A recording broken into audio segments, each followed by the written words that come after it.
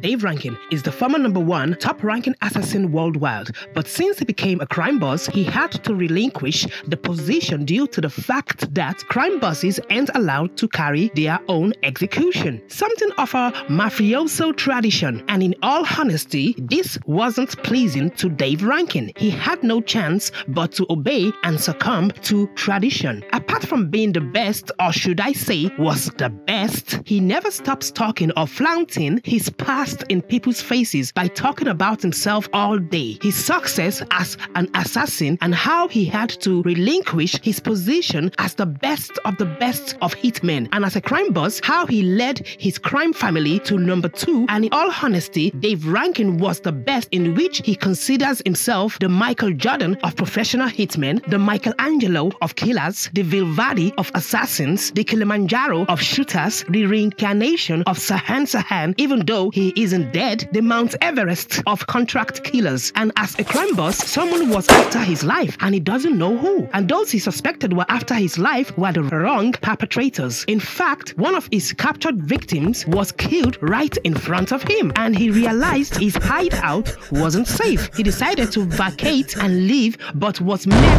with a surprise when his car exploded and he lost some of his men. In fear of his life, Dave Rankin decided to host an assassin get together like a party. Well, hoping things would go down well among those lots. And the invitees were the top 20 assassins worldwide. And Maxwell Bishop was there. Standing at the entrance, he was surprised that all the guests were urged not to bring their guns inside the party for everyone's safety. As if that's going to help things. You know, we are talking of assassins and not just any assassins, but top 20 contract killers worldwide. Getting the attention of Dave Rankin, who was about to join his guests, made it known to Maxwell Bishop that he bear him no grudge for taking his number one spot when he retired to become a crime boss. As usual, Dave Rankin couldn't help himself, reminiscing about the heydays, how he was the best at what he does, the god of contract killers, that he felt like a god. In fact, when he was married, all he could ever think about was killing. The hunt, he was like a retired vampire. As for Maxwell Bishop, he wasn't bothered about the past, for he left that life to be with his lover, and all he could talk about was his lover. In all honesty, Dave Rankin wasn't impressed with that answer. But on the other side of things, the main reason Maxwell Bishop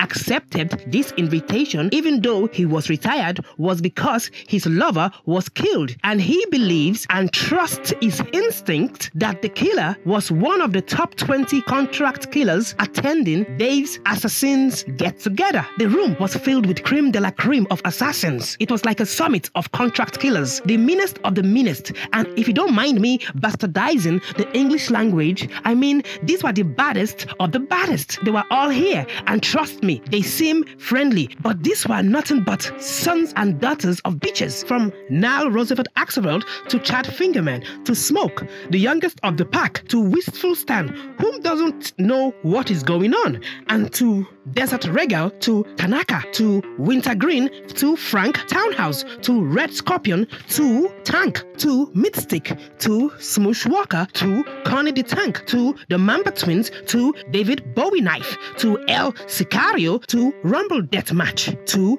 Dave. Then finally, somebody's first name I wouldn't want to fully pronounce.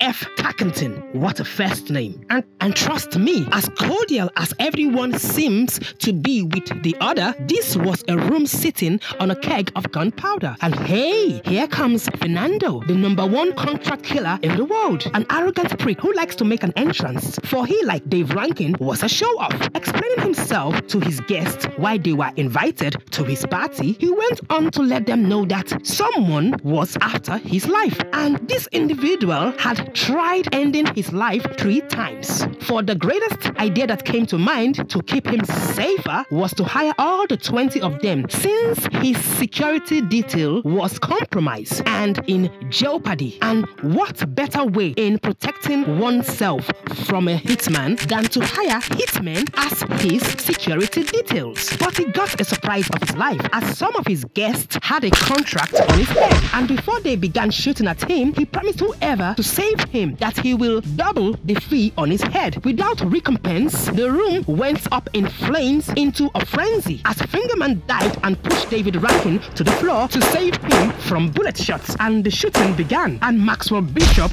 didn't hold back. From neck cracking to gun shooting to body flying to table smashing, it was a bullet galore.